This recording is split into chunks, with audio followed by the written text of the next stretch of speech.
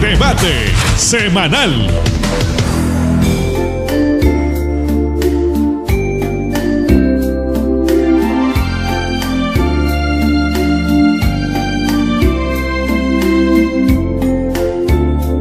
Hace más de 80 años descubrió su talento con la pintura. Seguramente, tal como lo refiere, la heredó de su padre que también fue un gran artista guaracino. Es el tercero de seis hermanos, es guaracino de nacimiento y sentimiento, y tan solo escucharlo y conocer su trayectoria nos permite reconocerlo como uno de los grandes guaracinos de antaño que nos llena de orgullo. Él es Humberto Chávez Bayona, pintor guaracino que ha llevado nuestro nombre a muchos lugares del mundo. He hecho exposiciones en diferentes lugares, sobre todo en Huaraz, en Lima,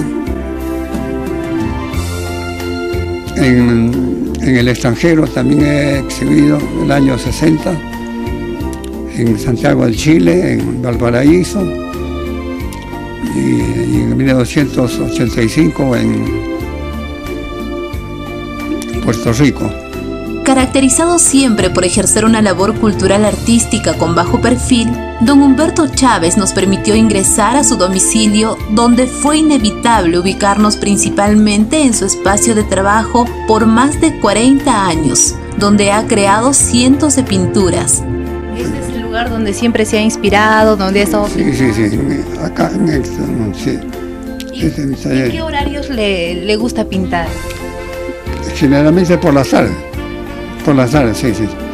Pero en el campo sí, siempre, cuando salía a pintar el campo tenía que ser de mañana, durante todo el mediodía, Permanecer en este ambiente te invita a aspirar aires de mucho arte y talento, de sabiduría y mucha experiencia. He pintado cientos de acuarelas, miles de acuarelas posiblemente, muchas de las cuales las he vendido, las he obsequiado.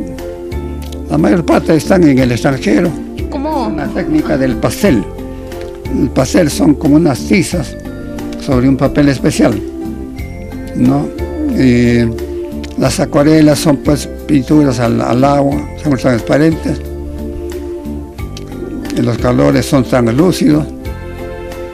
Y, y el óleo, que es otra técnica un poco más, muy diferente, Mientras revisamos su pintura, don Humberto, con la serenidad que lo caracteriza, nos cuenta que la primaria y secundaria la estudió en el Colegio La Libertad. Luego se fue a Lima a estudiar en la Escuela de Bellas Artes. Sin duda, era inevitable profesionalizarse en la pasión de su vida. Tomé el, arte como profesión, en que fui tuve que realizar estudios superiores en la Escuela Nacional de Bellas Artes del Perú durante seis años, cuatro de los cuales fui becado por mis uh, altas notas como dibujante, como alumno de la escuela. Cada palabra, anécdota y experiencia nos sorprende, pues evidenciamos el arte que corre por sus venas y es que no solo fue un gran pintor que traspasó las fronteras de nuestro país llevando su talento, también fue un gran artista musical de su época. Formábamos con otros, otros estudiantes, amigos de mi época. éramos aficionados al canto y a la música. Tocábamos la guitarra y cantábamos. Imitábamos a los panchos o a los grandes músicos de esa época, ¿no?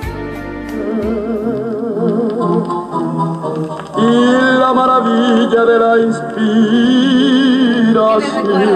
Al escuchar esa canción, Humberto? A mí me costaba mucho. Quieres ser el ritmo de tu ser, todo el palpitar de una canción. Es la razón de mi existir. ¿Qué piensa en este momento escuchando esa canción? ¿Evoca quizá algún recuerdo? Bueno, sí. Evoco pues mi época de de cantante y de, música romántica. Cuando formamos el trío universitario con Edmundo Vargas, con Antonio González, que es fallecido, con, con Serna, también otro músico fallecido. bueno, y con los hermanos Sánchez, ¿no? Tomás Sánchez, Lorco Sánchez, ellos sí viven. Pero ya no practicamos ya la música, ya no, ya no. Con ese talento también llegó a enamorar a su esposa. Sí, posiblemente. Dábamos serenatas en mi época, ah, se daban serenatas. Pero ¿cómo eran esas serenatas de aquellos años? Porque, bueno, me imagino que han cambiado mucho. Sí, justamente con, los- con los boleros, con las canciones que teníamos en nuestro repertorio, nos- se nos eh, ocurría visitar a las, a las, a las muchachas, a la de nuestra época, ¿no?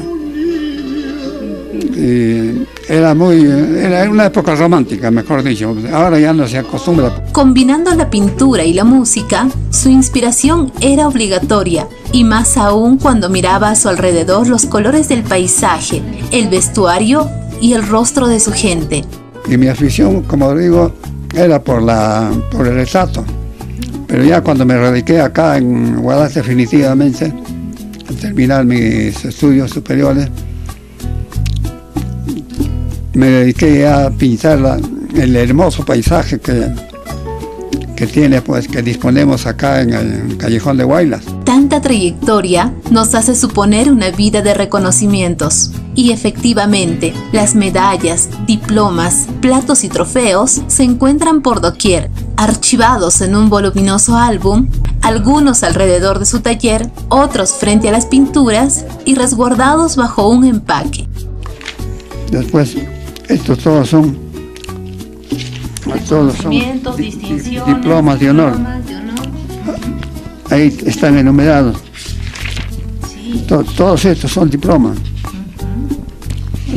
Todos estos son diplomas. Las pinturas que son su carta de presentación se encuentran en el salón de su casa, cada una con su propia historia. Le ofrecí pintarle pues a mi padre. Y lo cumplió. Sí, lo cumplió. Tuvo que pasarme durante, durante más o menos una semana. O menos, ¿no? por horas, por horas nomás. Porque dependía mucho de la iluminación. Pero en el terremoto se deterioró un poquito con la tierra, con la... Mi casa no se cayó, pero muchas cosas se destruyeron. Entre ellos eh, recuperé esta pintura y tuve que retocarla y le puse un marco. Humberto Chávez se siente complacido por lo logrado hasta ahora, traspasar las fronteras con su arte, tener a su lado a Lida González, su gran apoyo y el gran amor de su vida, así como tener el reconocimiento local, nacional e internacional. Mi objetivo era más que todo promover el arte. El arte y esa, ese objetivo yo creo haberlo cumplido cuando ya me dediqué íntegramente durante 16 años como director de la escuela, del que han egresado y siguen egresando todavía hasta ahora alumnos, muchos de los cuales se están destacando a nivel, a nivel, a nivel internacional, a nivel nacional.